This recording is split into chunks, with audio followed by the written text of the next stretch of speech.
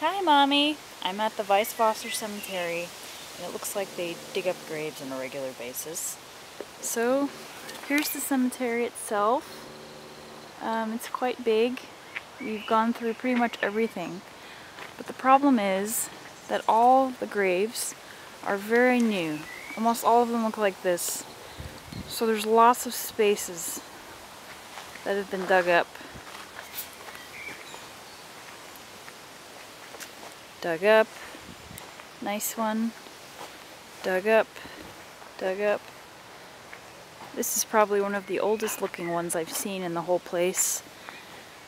And here's a large piece that was dug up. Here's another one.